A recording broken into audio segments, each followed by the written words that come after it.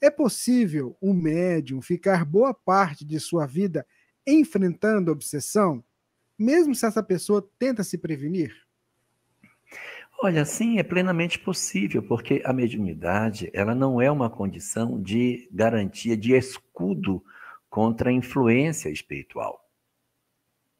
Todos nós, médiums ou não, sofremos influência espiritual. Os que são mais médiums percebem melhor essa influência. Não quer dizer que eles sintam, não é dizer que eles tenham mais influência, eles percebem mais a influência espiritual. Às vezes você não é médium, mas sofre um assédio terrível, mas nem percebe que está sendo conduzido pelos espíritos.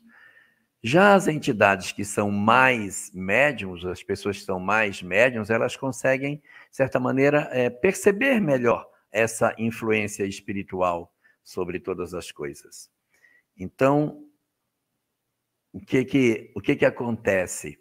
Nós, quando nos deparamos com as dificuldades da influência dos espíritos, é um indicativo de que as nossas existências, na verdade, estão independentes de sermos médiums ou não.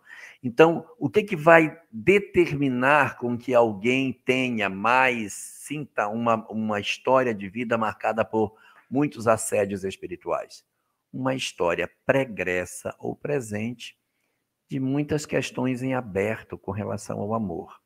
Se eu sou um espírito que no passado tem uma história mal resolvida, ou no presente eu tenho uma história mal resolvida, eu tenho uma tendência de ter uma pressão espiritual maior, independente de ser médium ou não.